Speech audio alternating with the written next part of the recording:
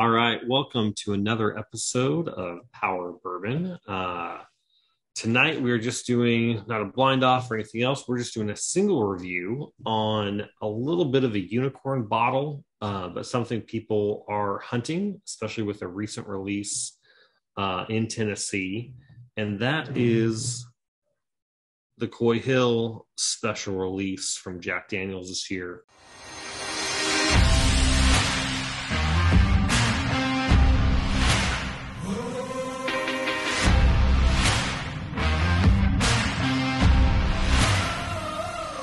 So we reviewed this.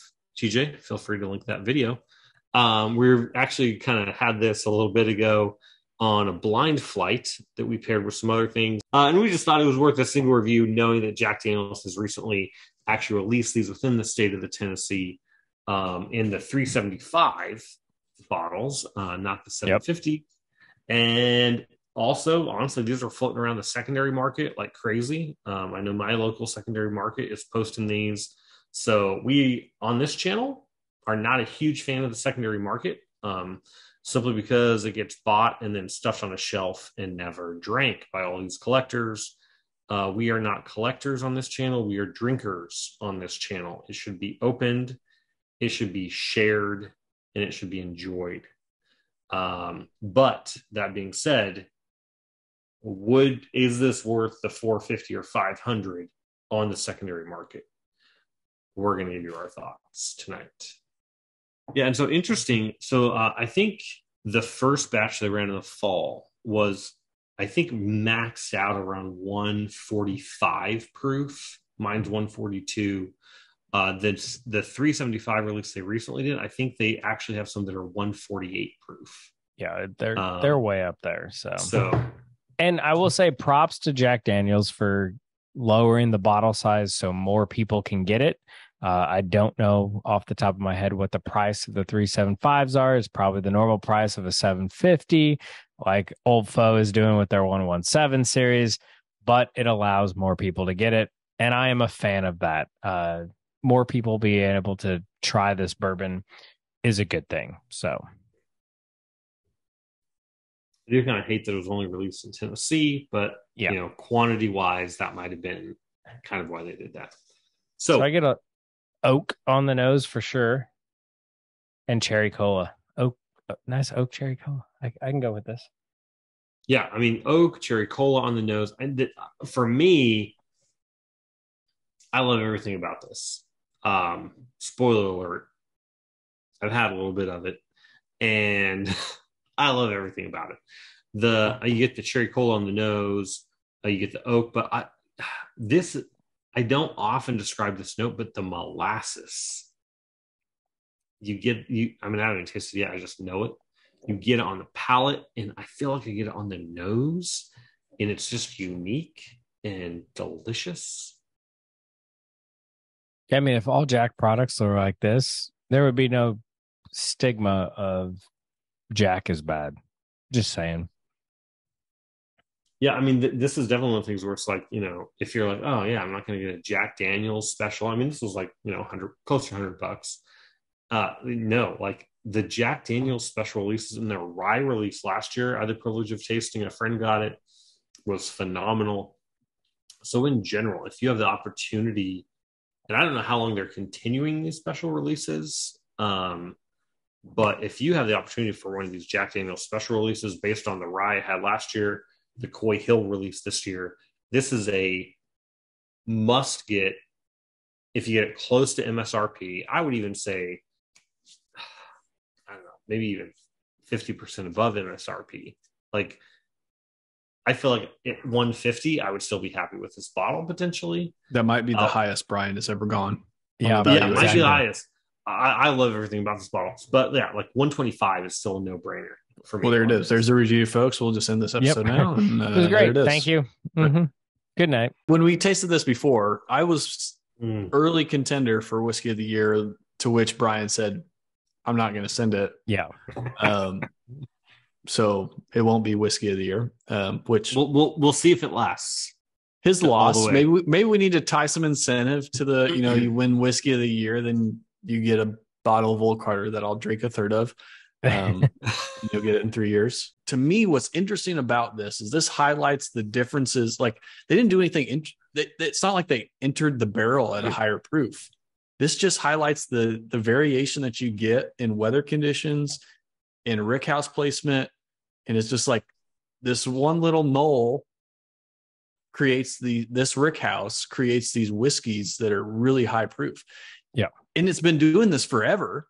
And Jack Daniels has just been only recently been you know creating this Coy Hill release to highlight this this uniqueness. Before that, either they were just discarding barrels or they were blending them with others to get them within standard for their yeah. barrel proof or their you know proofing them down to just their standard offerings. Jack Seven. So I think yeah. that to me is just like the the cool portion of what this whiskey is. Is just it highlights this uniqueness of this under like previously unexplored at least to uh, like to the common folk, to the people in the market. Obviously, you know, master distillers knew this for a long time. People within the companies, um, but it's great to bring this to the to the masses. Or yeah, yeah, a few select, uh, some select few yeah. lucky patrons yeah. that yeah they get to buy. And this. Jack Daniels, I just double checked. They describe it as these barrels, and I mean, there's not a lot of this floating around. Right. Um, mine from Barrel House 13 compared to eight. Those are the only two these are coming from. And these are in the Buzzard's Roost, uh, which I assume by that is the highest level of the yep. rick houses.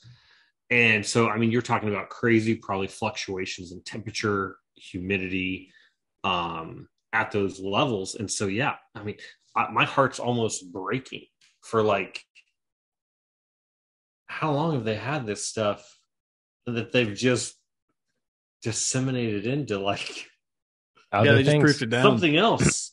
like, oh my gosh. Like tell me no. Yeah. the market wasn't ready, right? I mean, we've uh, yeah, third bourbon market 30 years ago would have just let you would if they brought this out, it would have just sat on the shelf. So we're one of those channels that does a review and never never actually gives tasting notes. I know, right? I was afraid of that too. And so, but the complexity of this is so much more significant, I feel like, than obtainium or something else high proof. Even in the nose, I feel like I get the flavors, plus in the nose, I get like, I can tell it's hot. I feel like. Oh, that's not honest, yeah. yeah. getting you. and, but it's weird because then the rest of it, like the nose tells me it's hotter than it tastes. Now I feel it in my belly when I drink it. I know oh, it's yeah. 142 proof when it comes on down in the belly. But the nose, I get the flavors, plus I get that hint of like, okay, this is bringing something uh, that I really like. It, it, almost gives me like this tease towards the finish. And you guys know I'm, I'm the finish guy. Like, yeah, I love a good finish. And when I smell this nose, I just go, oh my gosh, what's coming? That's what I, mean, I get excited about on this. Yeah. I mean, I think it's a it's a great I'm gonna I'm gonna go there. I'm gonna do it. It's a great bourbon. Uh, even though it's Tennessee whiskey, it's a great bourbon, but it's a three note bourbon. There's like three, maybe four notes. It's not overly complex. Hey, complexity doesn't always like complexity is a nope. good thing. Don't get me wrong.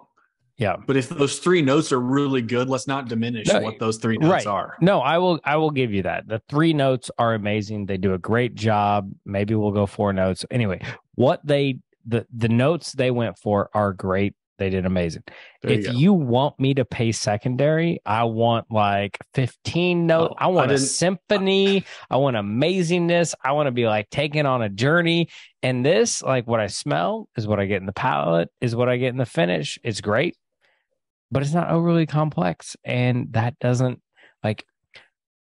I think we can establish something on this channel that we don't believe anything is secondary. Uh, we haven't had a William Larue Weller. That might be the one. But if I were willing to pay secondary, I would have a William Larue Weller. Fair enough. Valid point. So I think that's a, like I like the question that you posed earlier but honestly, I don't think that's like that's not what we're talking about here. We're, yeah, we're and rate it for what it is at MSRP or a little above, not secondary. Yeah. So we've talked a lot about the the nose and how we get the the cherry cola, we get the the, the smoke, we get the especially in mind. I feel like I get like some molasses in there. The palate then transitions. I feel like you get this nice Dr Pepper cherry cola palate that is delicious, and I feel like the molasses is there, but it goes away a little bit. And I start to get a little bit more of the uh, the the oak and and then towards the towards the the the, the end of the palate, I, I get some spice.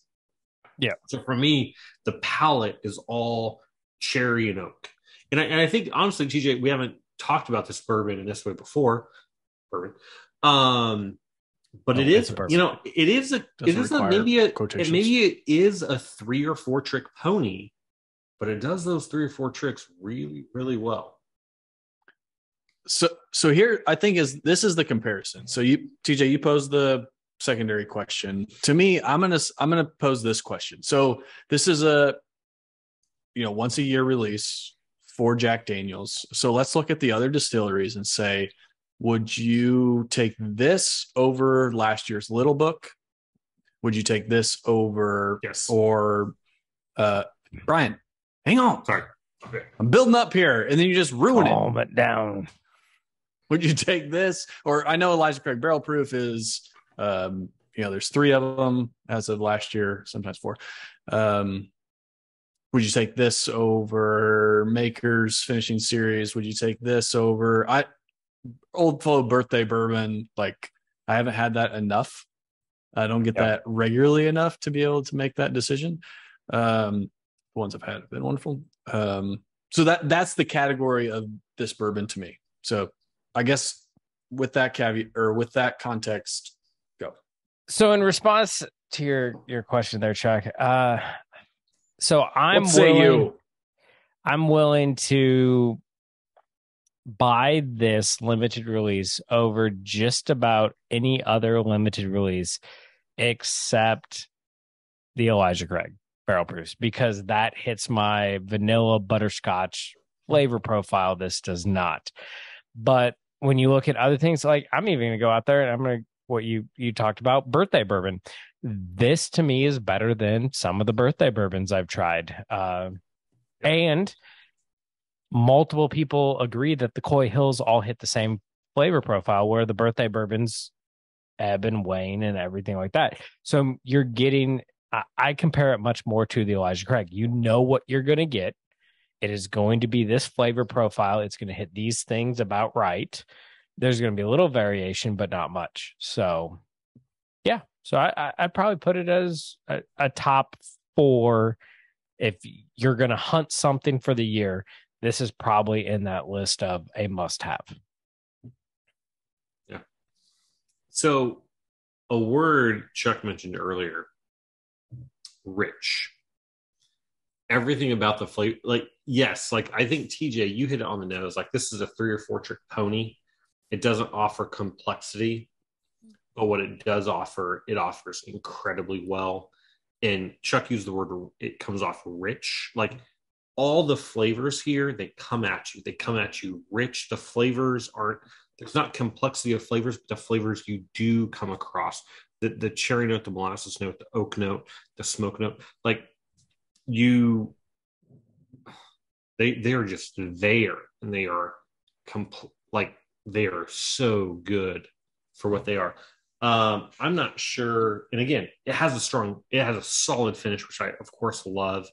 Um it has that nose that teases towards a solid finish i mean i, I would be hard pressed at that 400 to 500 dollar secondary price like I, i've had weller full proof no no, no, no, no, no, compared to this. Like if you want to tater hunt, sure, go buy your Weller full proof and be disappointed. And or better yet, put it on the shelf and never open it along with the other 12 you have. You know, this don't get this to keep on the shelf. Get this to open and appreciate and drink. Need a Weller full proof drink it. Yeah, I mean, yeah, for sure. right? I mean, Will Fuller is Um, pretty freaking good. I don't. I mean, oh yeah, call me a oh, tater. oh, uh, oh, it is. call me a It tater all day long. I'm It fine. is, but this I feel like is just better. if I can sum it up, and you guys can tell me if I'm wrong. Uh, if you get a chance to buy this, and I, I feel personally at 150 or less, it's a must. Now the 375 will be a little bit different, uh, but the 750 at 150 or less, I'd say for 375, 100 or less, uh, and you don't have one, definitely do it. But make sure you open it, make sure you drink it, and make sure you share it with friends. Like that's the best thing. As much fun as having all these bottles are and drinking them, it's a thousand times better when you do it with friends. Bring people over, have fun, explore. It's worth it. And you should have it on your shelf. Is it like go cra- crazy, spend four or five hundred dollars on the secondary? No. But if you're gonna spend four or five hundred on the secondary because you're that person, this might like this might All right. be the four or five hundred. We're not do it. advocating that. I not gonna say, advocating that, but if if you're going to, this might be the responsible way to do it. but yeah uh let us know what you think. If you found one have you actually popped it? I hope you have. Uh otherwise we'll see you next time. Cheers. Power burn.